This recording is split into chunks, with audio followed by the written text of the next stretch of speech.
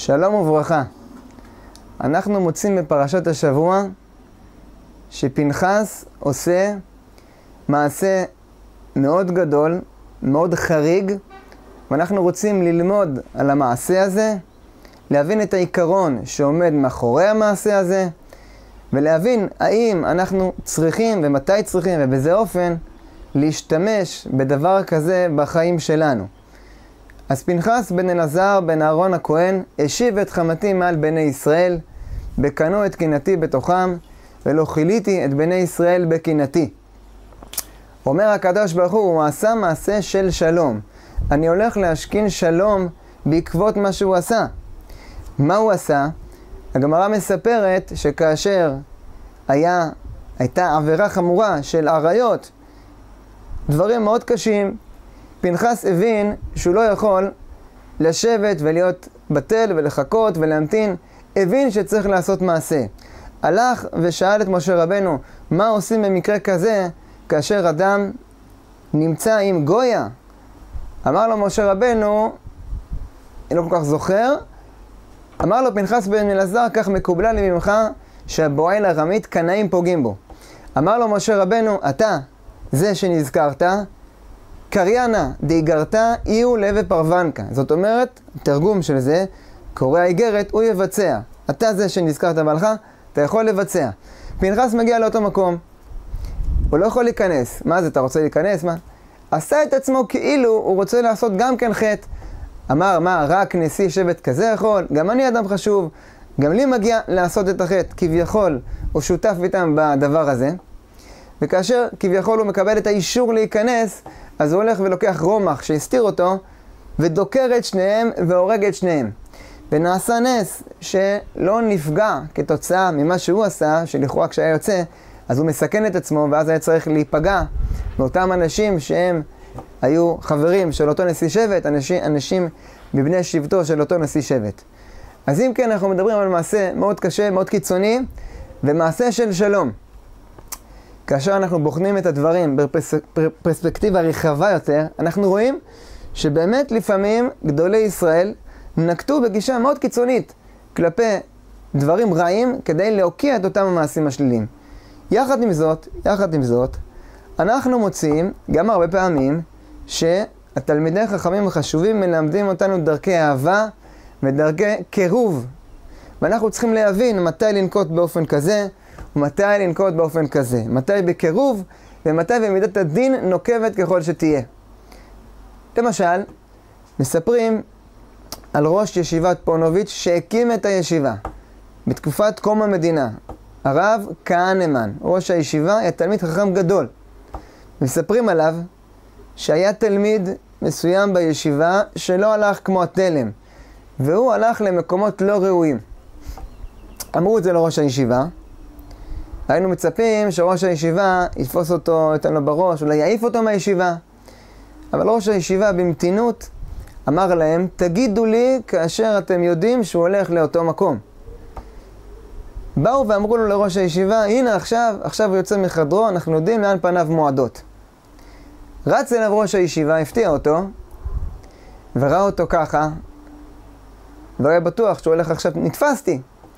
ראש הישיבה הוריד את המעיל שלו, שם את המעיל על אותו תלמיד ואמר לו, עכשיו חורף, ככה אתה יוצא, אתה לא לבוש טוב, יהיה לך קר, קח את המעיל שלי, לפחות שלא יהיה לך קר. שם לו את המעיל וחזר לחדרו, כאילו בכלל לא יודע, אין לו מושג מה קורה, מי זה התלמיד, לאן הוא הולך.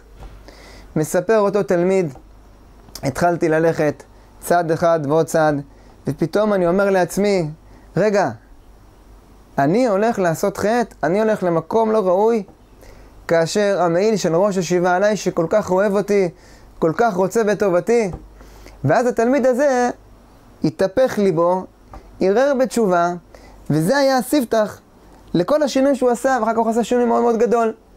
אז הנה לנו למשל דוגמה של קירוב. אז מתי צריך לנקוט במידת הדין?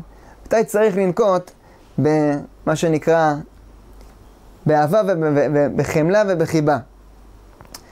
פעם הייתי באיזה חתונה, והייתה חתונה של יהודי בעל תשובה מתחזק, הוא כבר חזר בתשובה, המשפחה שלו עדיין לא. כאשר הוא הגיע לחתונה, אז היה סיכום שהחתונה תהיה נפרדת, כי זה מה שהוא רוצה, זה מה שהחתן רוצה, זה מה שהכלה רוצה, וככה היה בהתחלה. אבל, והביאו גם בחורי ישיבה כדי לשמח. ברגע ש... אה, באמצע החתונה, הגיע איזה מישהו עם איזה תוף מאוד גדול, וכנראה זה משהו שהם רגילים בו, מתחיל לתופף, ואז יצר איזושהי תסיסה, והתחילו שם אה, ריקודים אה, מעורבים, וגם החתן משכו אותו. לשם וראיתי ככה, והחתן היה ככה בדילמה, ויש שם גם רבנים, והיה לו נעים, מה עושים מצב כזה? אז התחילו הרבנים לדבר עם המשפחה, וזה לא בסדר, והבאתם אותנו, וככה וכולי. דנים בדברים, עד שהגיע איזה בחור אחד שעשה מעשה נועז. פשוט נכנס לתוך המעגל, איפה שהיה שם את המעגל המעורב, נכנס לתוך המעגל, תפס את החתן, ואמר לו, אתה רוצה חתונה נפרדת? אמר לו, כן.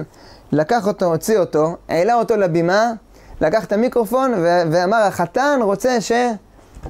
שהדבר הזה ייפסק. ברגע שהחתן רוצה וכך היה, אז באמת זה הופסק. אז הנה למשל, עוד פעם, מידת הדין. אז באמת צריך להבין מתי ברחמים, בדיבור, ביופי, בשמחה, בקירוב, מתי במידת הדין. אז אנחנו ניתן שתי תשובות לדבר הזה. התשובה האחת היא התשובה הכללית, והתשובה השנייה שהיא יותר עמוקה, ובתשובה השנייה אנחנו לא נסגור את הסיפור.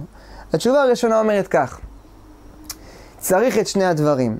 כל אדם במבנה האישיות שלו חייב שיהיה לו גם מידת היראה וגם מידת הדין, וגם, יחד עם זאת, אהבה וחמלה וחיבה וקירוב. מה קדם למה? כתוב בפסוק, סור מרע ועשה טוב. קודם כל אנחנו צריכים ללמוד לסלק את הדברים השליליים. כדי שאנחנו נוכל להתקדם בדברים החיוביים, צריך לראות שאין לנו משיכה, אין לנו תאווה, אין לנו דחפים שמשפיעים עלינו בניגוד לרצוננו. כאשר אנחנו מסלקים את הקומה הבסיסית, הבסיסית הזאת שנקראת סור מרע, אנו נפתחים לקומה עליונה ומתוקנת יותר. ואז אנחנו מגיעים לעשה טוב.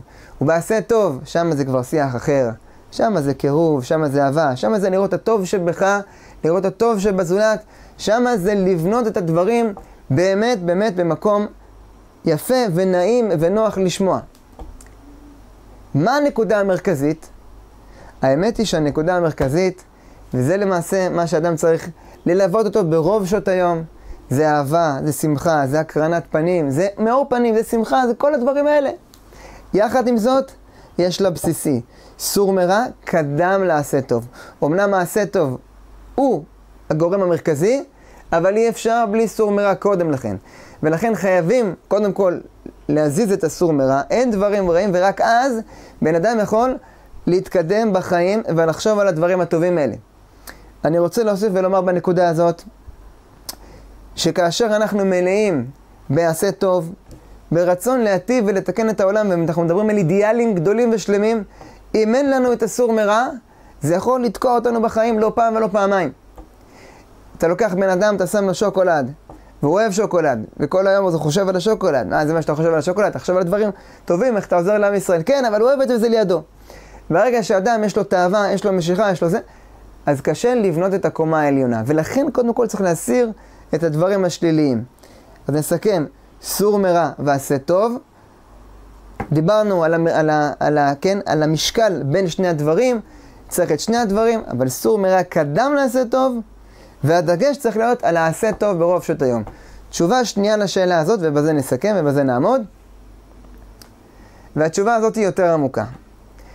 האמת היא שיש מצבים שאדם מרגיש שלפי המצב הנוכחי צריך באמת לנקוט במידת הדין.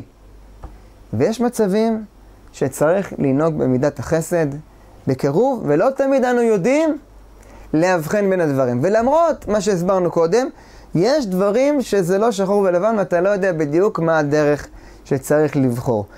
איך אנחנו יכולים לדעת? בספר מוסר אביך, הרב קוק כותב שיראת שמיים זה דבר שנלמד מתוך הסביבה של החיים, מתוך הניסיון, וזה דבר שאי אפשר להעביר אותו לבן אדם אחר. כאשר יש לך ניסיון וטעייה, ואתה רוצה להתקרב לקדוש ברוך הוא באמת, ואתה נופל וקם ונופל וקם, ועם הזמן אתה מצליח ללמוד איך באמת לקיים את רצון השם ולהכניס את זה לכל סיטואציה וסיטואציות החיים, ואתה לא יודע להסביר למה כאן אתה עושה כך ולמה כאן אתה עושה אחרת. הכל זה רצון השם, ולפעמים יש דברים מפריעים, ופעם צריך בקירוב ופעם צריך בריחוק. עם הזמן הדבר הזה נרכש. זה דבר שאי אפשר להעביר אותו לבן אדם אחר. קוראים לזה יראת שמיים. אז אנחנו צריכים להיות מלאים בהרבה תפילה לקדוש ברוך הוא, שיזכה אותנו לדעת מתי באמת לבחור בקירוב, באהבה ובאכפתיות, ומתי גם לקיים את הסור מרע, שכאמור, על פי תשובה ראשונה, בדרך כלל קדם לעשה טוב. שבת שלום ומבורך לכולם.